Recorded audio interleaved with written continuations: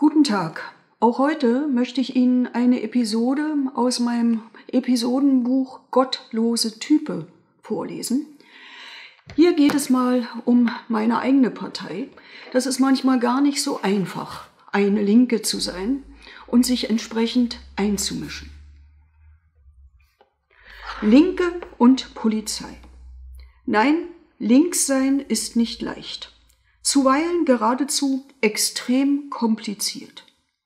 Es ist einige Jahre her, da wurde ich ob eines schlimmen Regelverstoßes wieder einmal gemaßregelt. Per E-Mail, also modern. Aber nichtsdestotrotz klipp und klar. Ich sei auf Verräterspur, wurde mir mitgeteilt. Worum ging es? Am Berliner Alexanderplatz tagte ein europäischer Polizeikongress. Unter Linken trug er den Stempel Rüstungsmesse.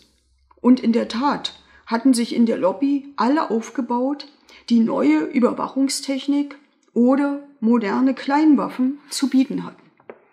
An einer solchen Veranstaltung beteiligen sich richtige Linke nicht.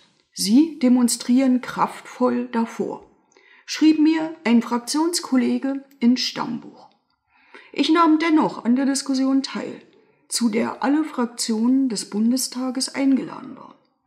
Als Linke lehnte ich die Vorratsdatenspeicherung aller Telekommunikationsdaten und anderweitige Eingriffe in verbriefte Bürgerrechte ab. Als einzige auf dem Allparteienpodium, wenigstens ich, fand ich.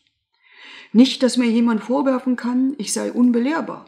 Tags darauf, drinnen beriet noch immer der Europäische Polizeikongress, zog ich mit meinem Büroteam vor das Kongresscenter. Wir wollten die angekündigte, machtvolle Demonstration stärken. Es war ein voller Erfolg, denn wir vier verdoppelten die Teilnehmerzahl der anwesenden linken Protestanten. Mein Fraktionskollege, der mich zuvor so vehement getadelt hatte, war leider nicht da. Aber das hatte sicher wieder sehr linke Gründe.